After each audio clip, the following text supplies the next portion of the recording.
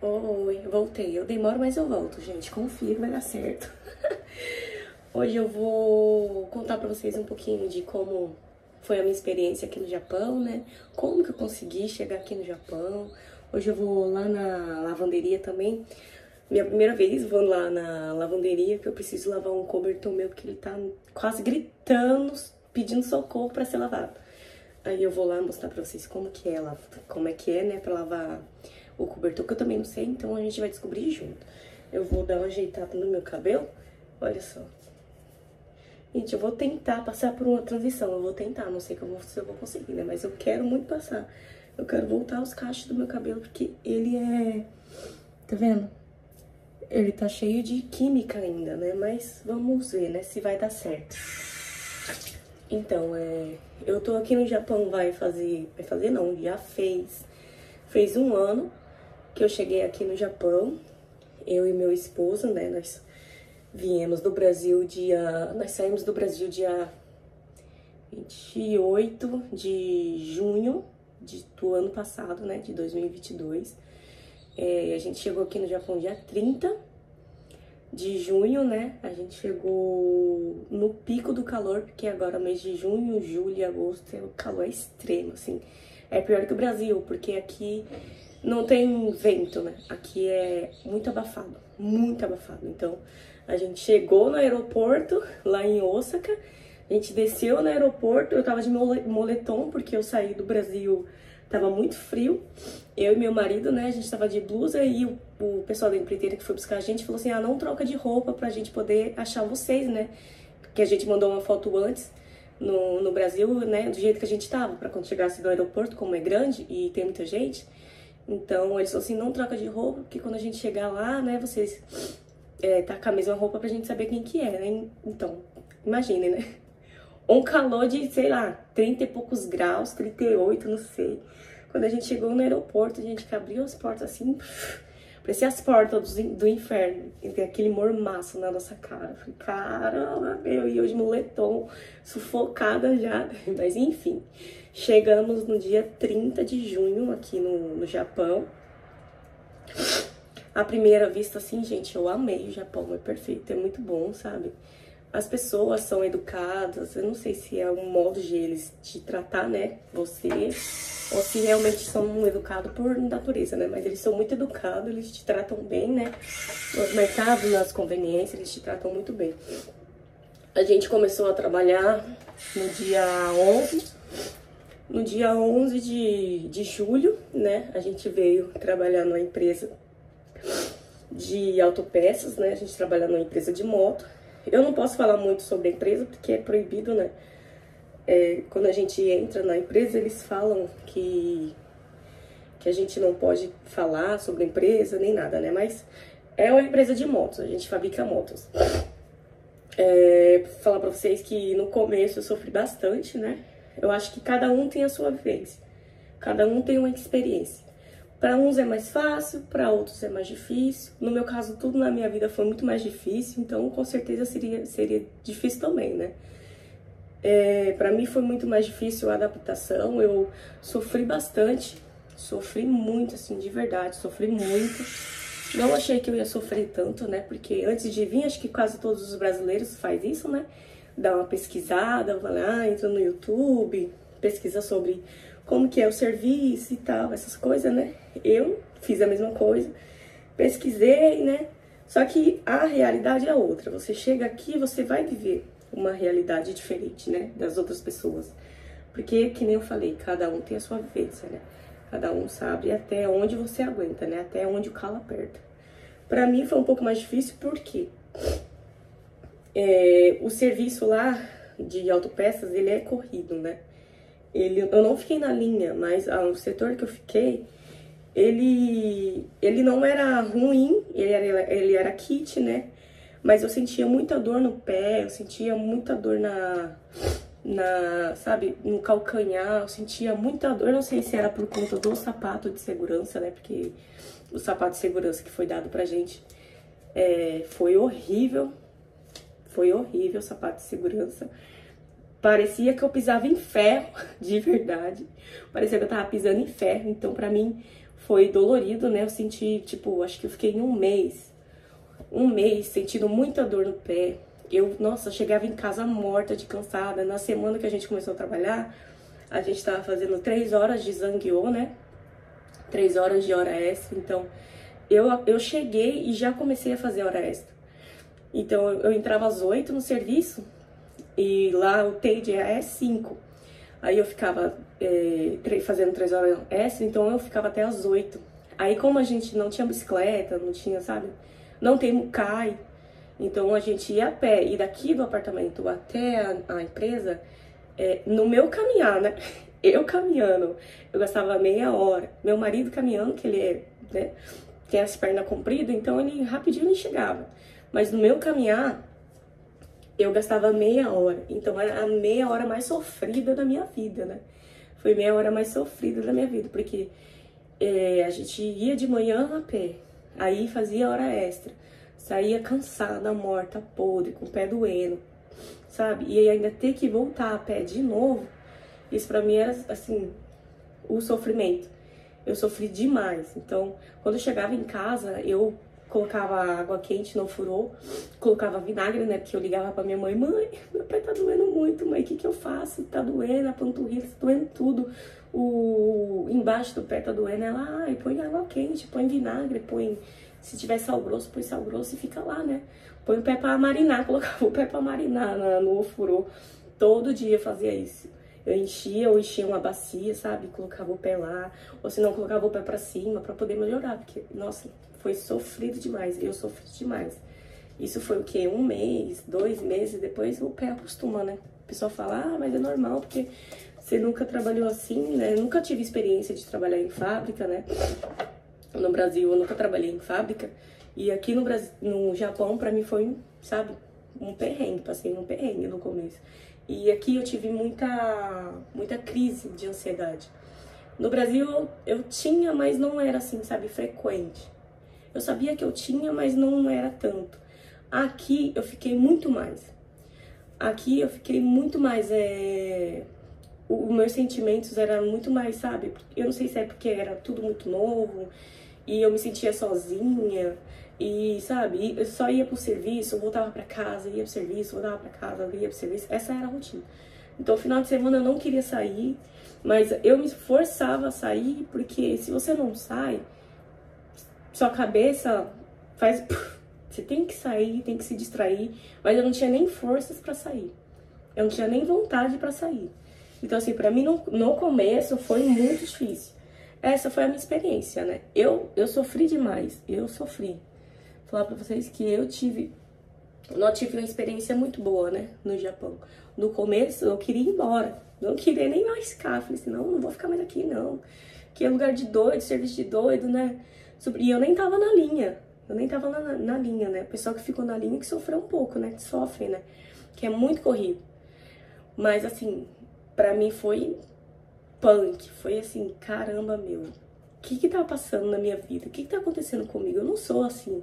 Mas aqui eu fiquei, meu, muito ruim. Eu achei que eu não ia aguentar. Eu achei que não ia dar certo pra mim. Eu, eu ligava todo dia pra minha irmã eu ligava para ela, eu voltando do serviço, eu ligava para ela para me distrair. Eu ligava para ela e falava: "Não, vou ligar para minha irmã porque aí eu vou falando com ela, eu vou me distraindo, né?" Mas assim, eu, eu falava com ela, ela me acalmava, eu ficava nervosa, só que eu não queria contar isso pro meu marido. Eu não queria deixar ele preocupado, né? Porque eu sabia que ele também estava sofrendo, né? Porque para ele também foi uma mudança, né? Você sai do seu país, né? Da sua língua, você tá aqui, você não sabe falar, é, pra, é, é mais complicado, né? Gente, esse café aqui, cortando o assunto, né? Esse café aqui é uma delícia. Foi o primeiro café que eu comprei quando eu cheguei no Japão. Ele é café com leite e ele toma gelado, né? Ele é muito gostoso, muito gostoso mesmo. Eu amo esse café, eu tomo todo dia. Às vezes eu nem faço café com pó normal, né? Eu só tomo ele de manhã. Então, voltando. Aí eu não queria contar pra ele pra não deixar ele preocupado, mas aí eu não contava pra ele, ele não ficava sabendo. Pra ele, eu tava, tava tudo bem comigo, né? Eu estava gostando. Agora sim, agora eu já tô já adaptada no serviço, então Eu gosto de trabalhar lá. Eu gosto desse ritmo, assim, sabe? Acelerado. Que é bom que passa o tempo, né? Que se tá muito devagar, eu já não gosto. Mas no começo, vou contar pra vocês, eu queria muito ir embora. De verdade. Eu não queria ficar mais. Eu queria ir embora. Pra mim, ia, sabe? Já não tinha mais o que fazer. Eu já, o meu marido falou. A gente conversava, né? Ele, ah, mas tá difícil pra você. Se você quiser voltar, você pode voltar. Eu falava, não, eu não vou voltar. Agora que eu tô aqui, eu vou aguentar, eu vou ficar.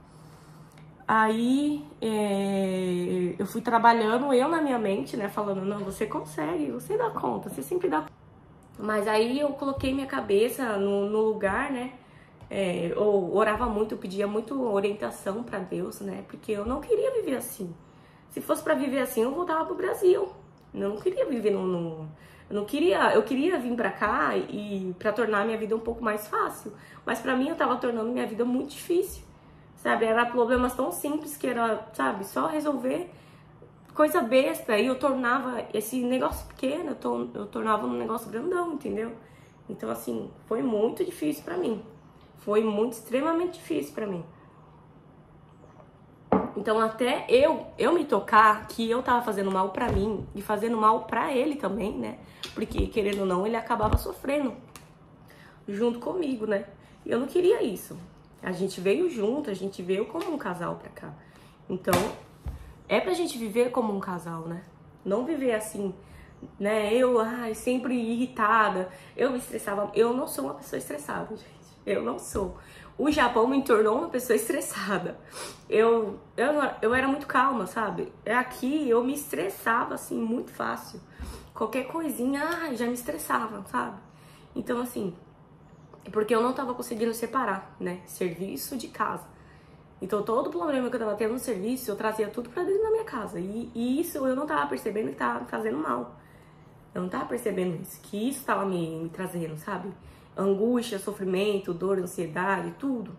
Tá me trazendo tudo isso. E eu não contava isso pra minha mãe, não queria contar isso pra ela, pra ela não ficar preocupada no Brasil. Então, assim, ela não sabia. Ela sabia que eu tava, assim, tipo, no começo que eu não tava é, aguentando porque eu tava sentindo dor no pé, mas que eu tive muita crise de ansiedade no serviço. Eu chegava no serviço, eu ficava chorando, sabe? Eu ficava, ai meu Deus, eu não vou conseguir, eu não vou dar conta. Então eu chorava muito, sabe?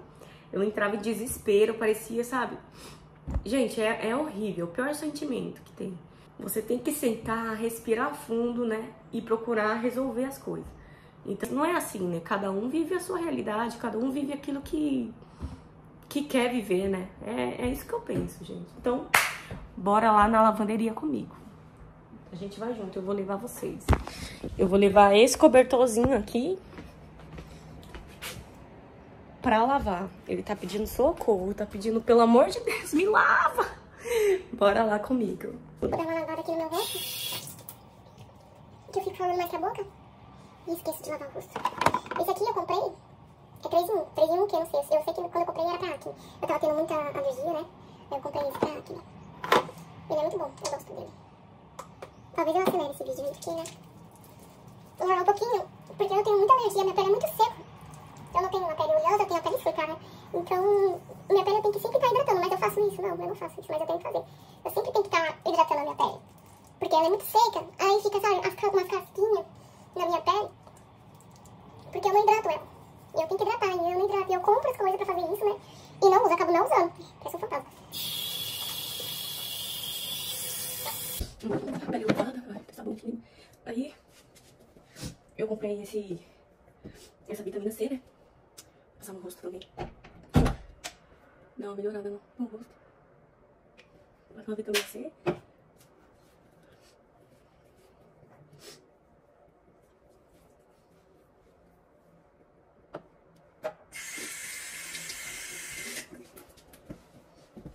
Um hidratante. Eu uso essa da nível. Eu uso o nível, mas eu quero comprar outro. Quero comprar outro. Outro hidratante. Ele é bom também, mas eu quero testar outros. Já muita gente falando que ele não é muito bom, mas eu gosto. Não é propaganda, não tô ganhando pra isso. mas eu gosto da Nivea. Bom, hidratando a minha pele é o que importa, né? Então pra mim tanto faz. Não vou muito por marca não, que eu não sei qual é a diferença, então pra mim não faz diferença nenhuma. Então é isso. Eu vou só soltar no cabelo, porque Eu já fico com ele preso no serviço. Então vou só dar uma amarradinha. Ele tá muito grande aqui. Eu queria, gente, me dá dica de cortes, de tinta. Vocês acham que combina que cor? Meu cabelo. Eu queria muito pintar ele, mas eu não sei que cor que eu vou Eu não sei se eu corto ele mais curto, eu não sei. Eu tô com esse vestidinho aqui, ó, que eu gosto muito dele. Porque ele é bem levezinho, né? Não sei se dá pra ver. Ó. Esse vestidinho eu gosto muito dele. Ele é bem... Gostei, olha a bagunça aqui. Eu gostei, né? Bora lá, bora lá, bora lá. Bora lá na, na lavanderia comigo, né? Testar levar dinheiro. Pelo que eu vi algumas pessoas falando, não aceita nota, né? Aceita mais moeda. Então eu vou levar minhas moedinhas, que tá aqui. E é isso. Eu espero que esteja vazio, porque... Eu quero tentar mostrar pra vocês também como que é lá. Aí se tiver gente lá, eu fico com vergonha. Mas bora lá, peraí. Ai, deixa eu pegar a chave aqui. A chavinha que eu já mostrei pra vocês, né? Com negócio do Corinthians, meu marido é louco pelo, pelo Corinthians, ele é mais louco pelo Corinthians do que por mim, né? Mas enfim. Oi. Gente, eu tenho que limpar, porque olha isso aqui no verão como fica. Vou mostrar pra vocês. Fica cheio de bichinho. Cheio de teia de aranha. Olha esse chão como que fica, gente. Eu varro isso aqui, mas não adianta muito não. Olha o tanto de coisa que fica. Eu varro, varro, varro, mas é a mesma coisa que nada. O dia hoje está maravilhoso. Olha esse dia. Olha esse solzão. Ó. Tá muito lindo o dia hoje. Tomar cuidado com esse vestido, que ele fica enganchando no pé. Aí pra tropeçar e cair, dois segundos. Tá muito bonitinho. Carrinho amarelinho ali, bonitinho.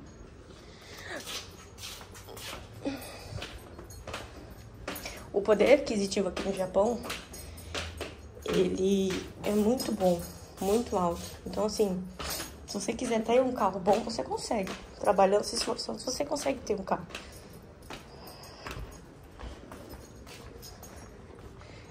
Esse é o estacionamento aqui, onde eu moro. Uma Mercedes. BMW, gente. Mercedes não, BMW. Vou mostrar pra vocês que é bem perto da minha casa mesmo. A lavanderia. Do lado, praticamente. A minha bicicleta.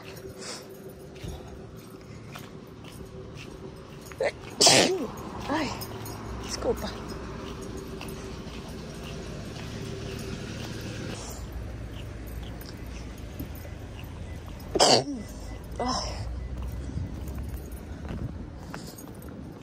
A lavanderia fica aqui. Bem pertinho de casa, pra ver se chegou. Isso aqui é a lavanderia. Só vou descobrir como é que usa, peraí. Bom, pelo que eu entendi, eu não sei se vocês vão conseguir ouvir, né? Porque tá muito barulho. Essas daqui são pra lavar completo. E essas daqui são só para secar. E ali, naquele painel, faz o pagamento. Então você põe sua roupa aqui e ali você faz o pagamento. Aí em cima marca o tempo, né? Essa aqui falta 8 minutos para acabar. E essa aqui tá vazia. Ela é S. Acho que eu vou usar essa. Bom, gente, eu ia filmar pra vocês como é que faz, mas eu também nem sabia, né? Aí fica uma japonesinha lá, aí ela me ensinou a programar lá a máquina. Eu coloquei o meu cobertor lá, aí fica tipo uma tela e você tem que ir clicando lá. Aí ela foi me mostrando, bem simpática. Foi me mostrando como é que clica aí para lavar aquele cobertor que eu levei foi 900 ienes. Aí fica lavado em uma hora. Aí pode deixar lá, você não precisa ficar esperando, né? Pode deixar lá. E pronto. Aí eu, daqui uma hora eu volto lá pra pegar. É, na próxima vez, e agora eu já sei como é que é, aí eu mostro o passo a passo. Eu não gravei porque ela tava me explicando lá, né? Então ia ficar meio chato. Eu estar lá gravando e ela me explicando o negócio. Mas é isso, gente. Acho que o vídeo vai ser esse.